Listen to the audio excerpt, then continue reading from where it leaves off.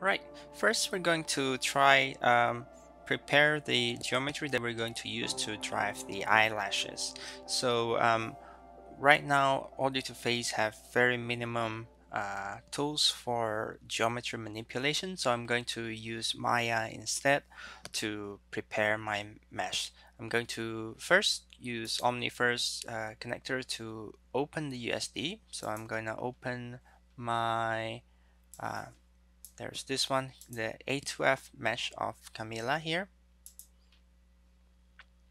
All right, and I should be able to find this mesh there.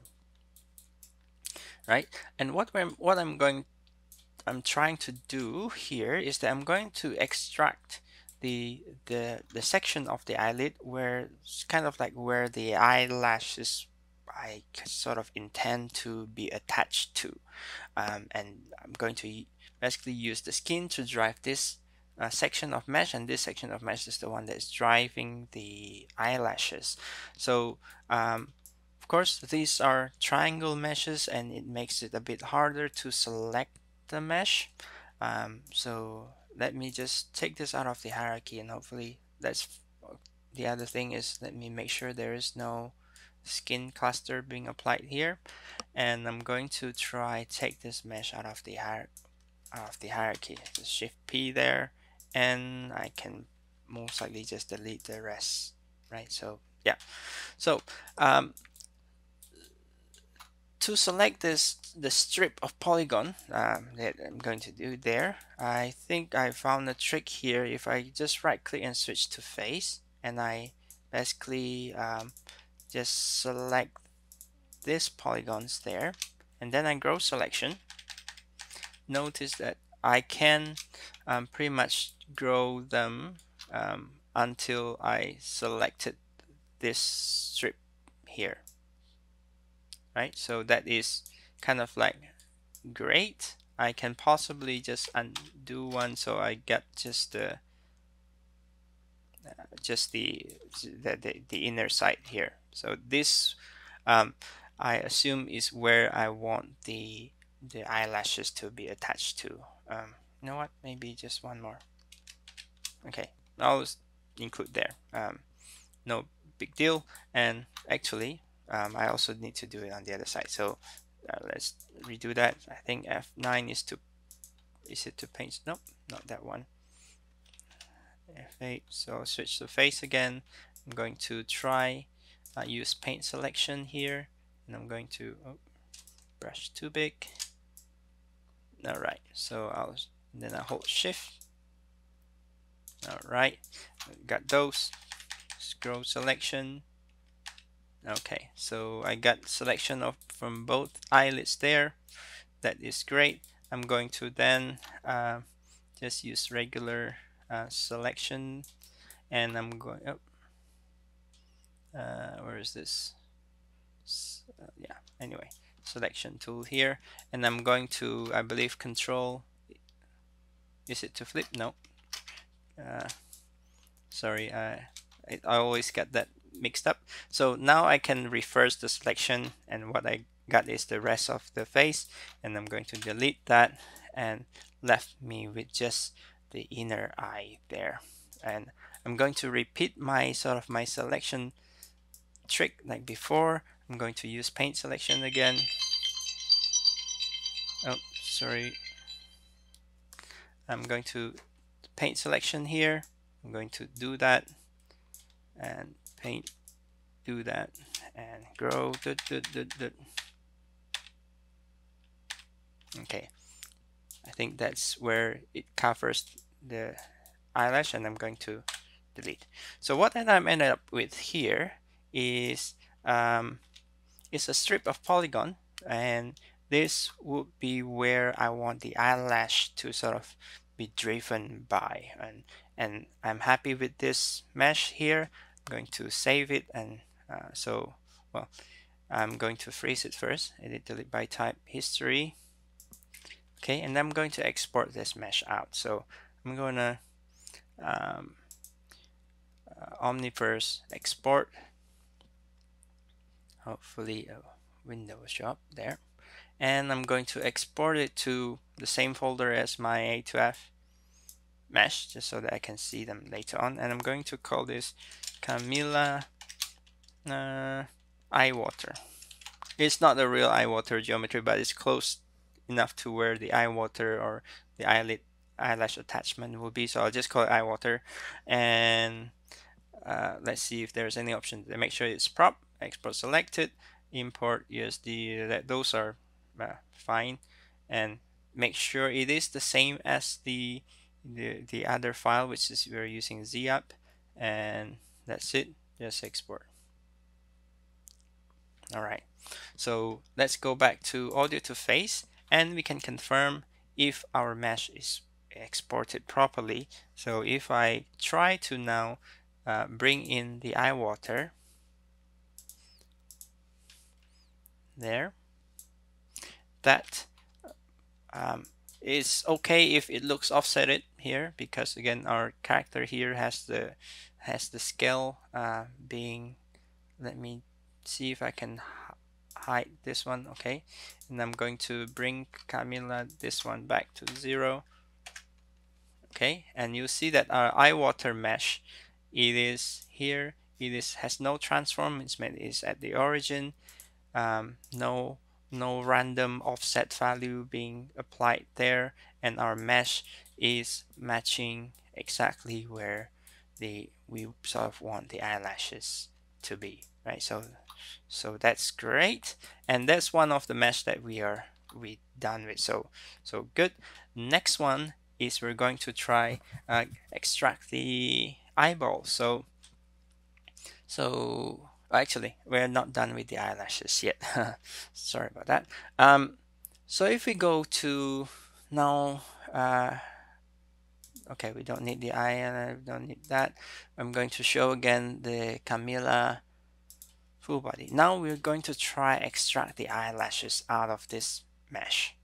Um, the first thing to do with this uh, mesh is that we're going to uh, try uh, stamp it. Um, so I forgot actually if you know if I just run uh, mesh separate immediately if it's gonna keep the original or not. I want to keep the original because I don't want to touch it. So I'm going to stamp this just in case. Um, so I'll go built-in mesh. I'm going to stamp mesh. So I got a duplicate of this mesh. Now I can hide this. Oops.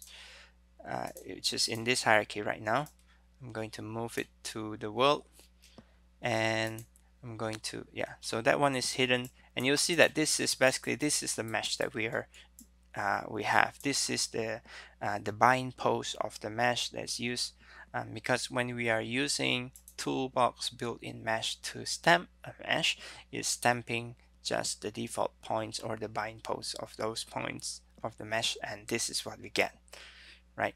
So this is what we want um, because we want to deform from this forward so later on when the when the joints take over it still starts from here and the joints do the rest. Um, so we got the eye water. Next is that we need to get the eyelashes out. And this character if you look here has a bunch of geom subset.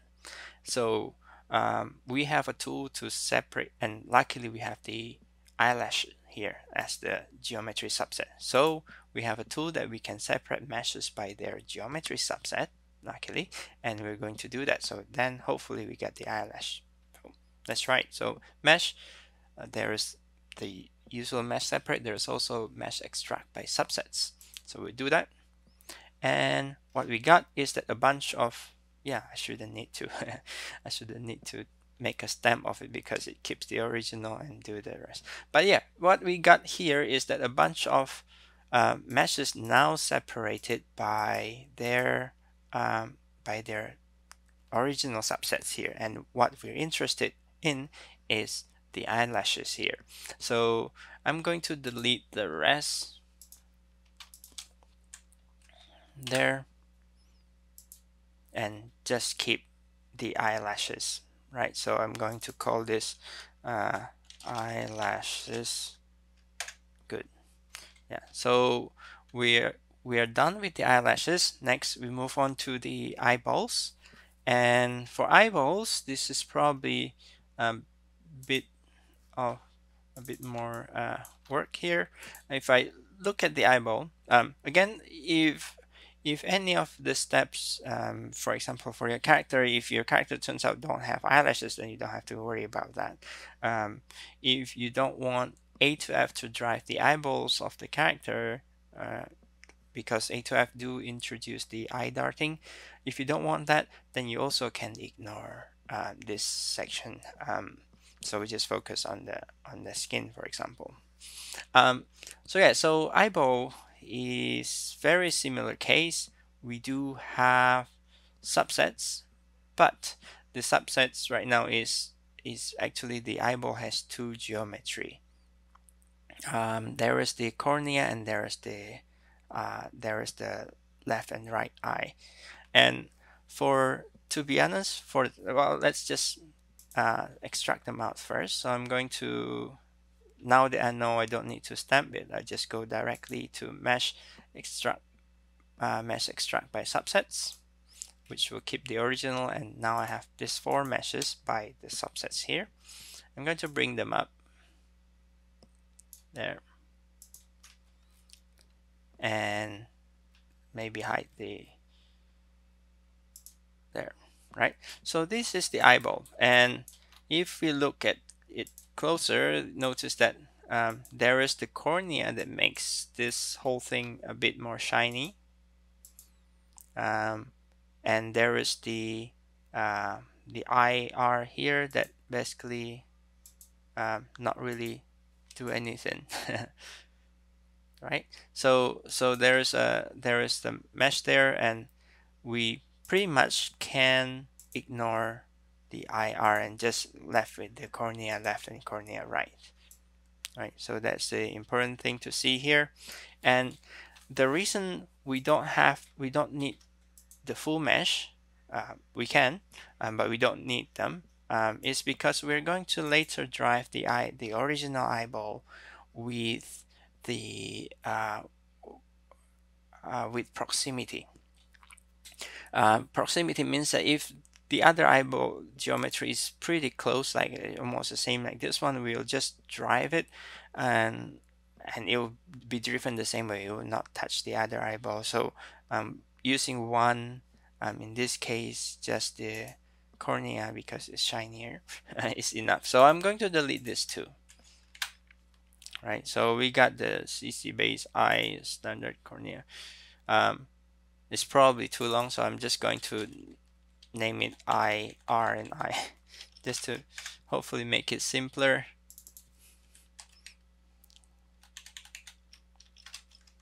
All right, so um, there we go. I think these are all the extra mesh preparations that we need to do. Um, first, we need the eye water um, that has to be done uh, from other DCC at the moment just to extract this poly strip out. Um, the next is that we need the eyeball which we sort of extract out and we also need the eyelashes, the extra eyelashes that um, again we also be able to separate using the uh, mesh uh, extract by subset here. So I'm going to just save this out I can pretty much delete the rest of this hopefully I don't overkill and do too many mesh. Oh there's there. Yeah. Oh my light seems to be accidentally get deleted as well. Yeah. So there we go. Let's see. Yeah. So yeah. So so basically this mesh now again I don't need the light. Um, I'm going to save this file and does it include oh okay. There is tons of other material that in theory we don't need. Um, we can delete them um, if we want um, but for the sake of no I'll keep the eye because I forgot um, if if they're being used all. And then there is the what else? The there is the eyelash material. There's also we need. We can delete the rest and it should be good. So this file now even though it's, it's dark because I don't want I don't need the lights um, what distant light. Is no harm to just keep the light there. We can always hide it in our in the other um, app later. Oh this is confusing. Yeah. So yeah so this is the this is the eyeball um, and eyelashes that we're going to save. I'm going to save this file. Save as. Going to uh, let me see here.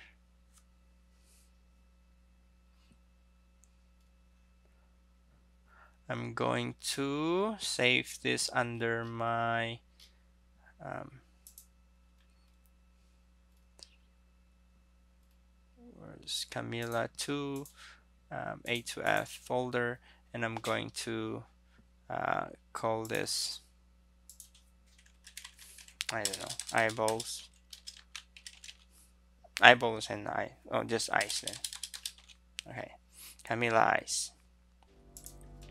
Yeah so these are all the all the all the uh, meshes that we have to deal with uh, prepare and we can start the setup now